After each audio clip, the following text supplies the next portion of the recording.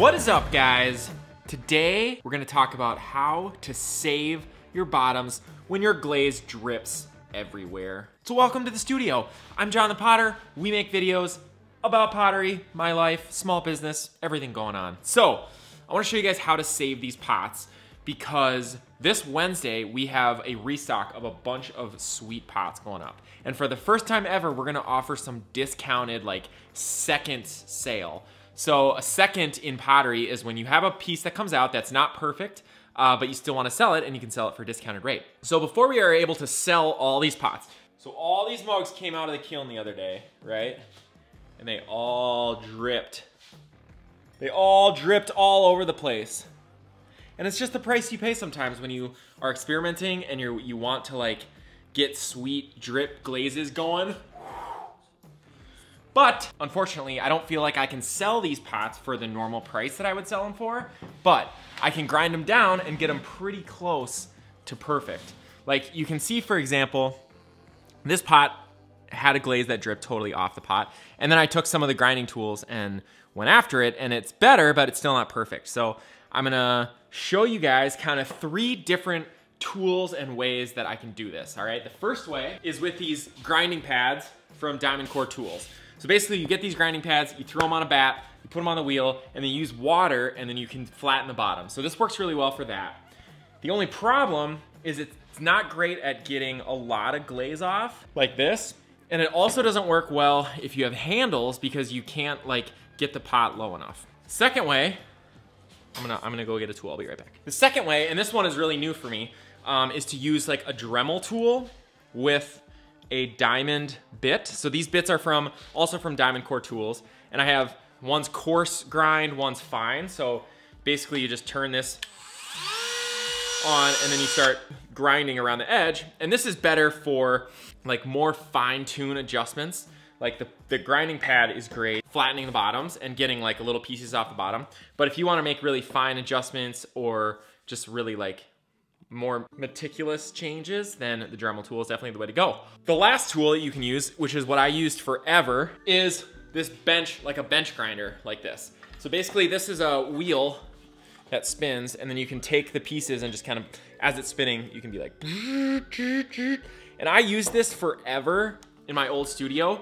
Uh, and there's some safety hazards with this. Like basically when you're grinding, you're just kicking up like a bunch of silica dust and like grind, which is not good for your lungs.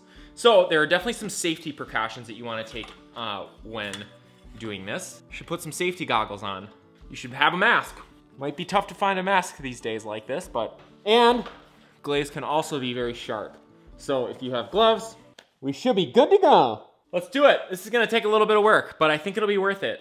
So normally when, when I'm selling mugs for anywhere between like 50 and $70, these mugs will probably be on the Etsy restock for like around half that. So, so if you wanna check them out, I'd very much appreciate it. The first one that we're gonna do, since it's not, this one didn't drip that bad, it just kind of dripped right there. So we're gonna use this grinding pad to just flatten the bottom and then to just kind of smooth out that edge a little bit. So you just get that diamond core thing wet.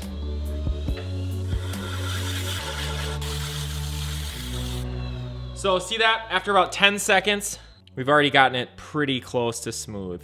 And using a combination of all these tools and methods is one way you can really like get it to be as close as you want it to be. Like I already even took a little bit, almost too much off. So there's that. So the mug is totally perfect. The, the bottom is nice and flat and smooth, uh, but I still am gonna sell these for discounted prices, so.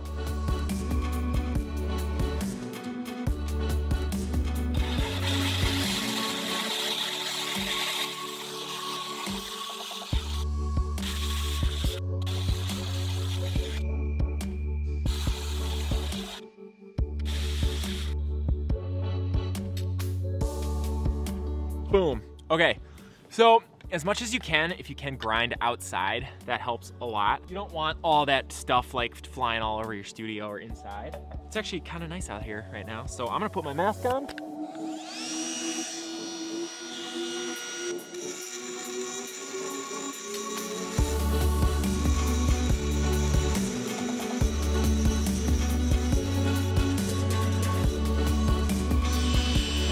There we go. So not perfect, but still a very functional cup. What do you guys think? Do you buy this?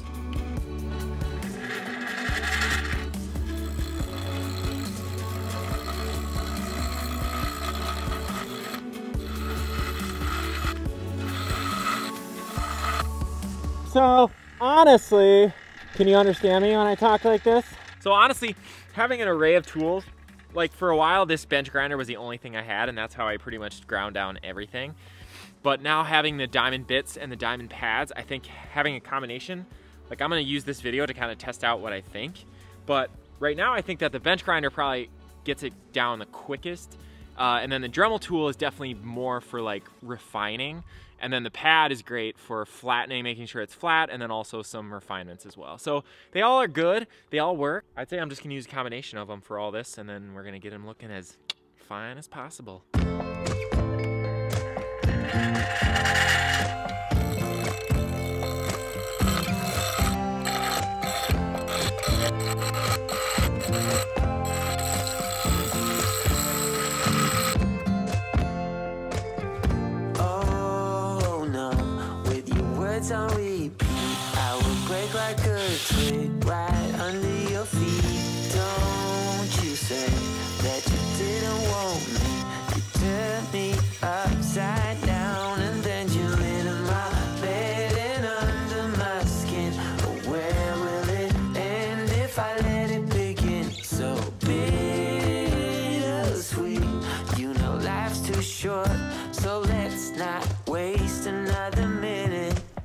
All right, well, it turns out an hour straight of Dremel tool will will uh, run the battery out. So battery's dead on the Dremel tool, but we got most everything done. Once we're done with that, we're gonna start just taking pictures of stuff so that you guys can see what's gonna be for sale.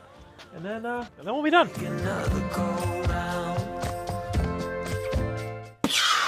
All right, friends, so we got them all ground down. We got them all photographed and yeah, so these are all going up for sale if you wanna get a discounted pot. I've never done discounted pots uh, online before, and they these are some sweet ones. So got some special ones, and basically they'll just be discounted probably around half the normal price. Um, some of them are still pretty perfect, like the bottoms of these, like they're they're not bad at all.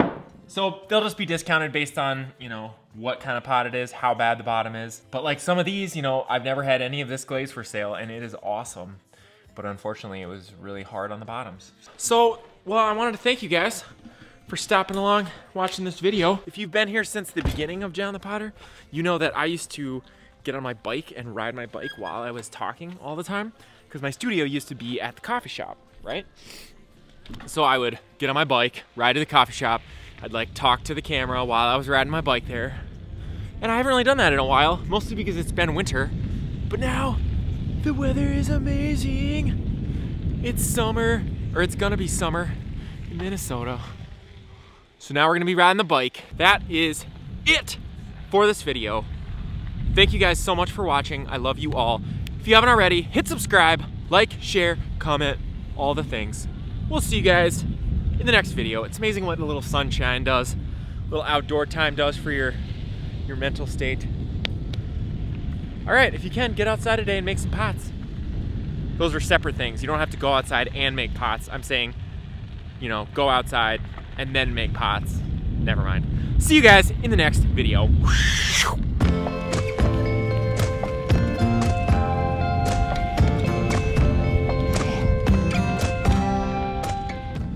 Believe it or not, there was actually snow on the ground this morning. I wish I had a video of it, but I swear, I swear to you, there was snow on the ground this morning. now it's like 50 degrees and super nice. Okay. Oh, I went down the hill, now I went back up. All right, bye.